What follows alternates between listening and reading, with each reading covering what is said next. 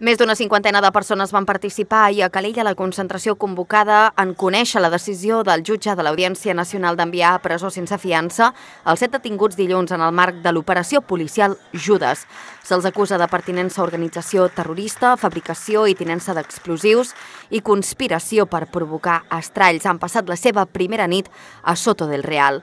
Els concentrats van defensar la innocència dels activistes i van afirmar que les detencions formen part de l'estratègia dels diferents diferents estaments de l'Estat contra l'independentisme.